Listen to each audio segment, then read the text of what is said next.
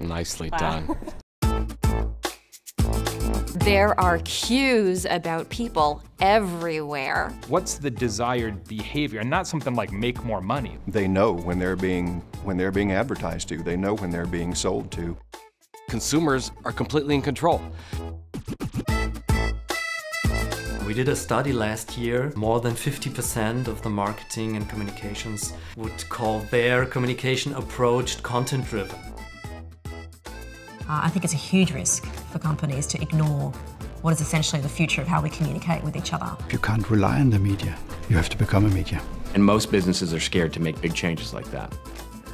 They ask, you answer. Let's become the Wikipedia of our space. Let's solve people's problems better than anybody else. Let's get everybody on board. Let's get everyone involved. Everyone in this company is a teacher.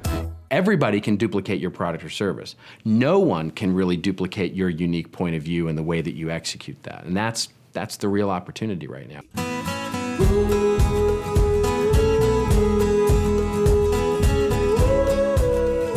Like a halfway decent human being, brands have to be about more than themselves. When we evoke emotion, whether that's nice shirt, that's terrible, that's funny, we're going to share it.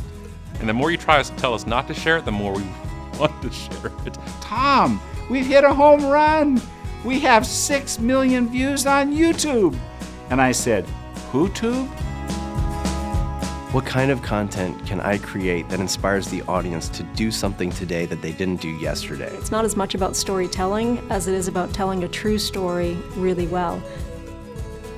IOL, which is return on love. So we believe in if you if you give people, they will love you for it. They will pay you back. How do we take people inside? And that's where we start. You need to figure out your doctrine. That's what I'm trying to say. And that's to me that's the magic of content. You have to find a way to confront the things you've been taught and trained to do because everything has changed. The most successful companies in the world are really focused on content marketing because they have to be, because they're not going to get attention if they don't. If you don't do it, you're not going to be relevant. So you got to you better figure out a way. And guess what? Content's a pretty good way to do it. You're going to have to invent how marketing is going to occur. You're going to have to invent the future.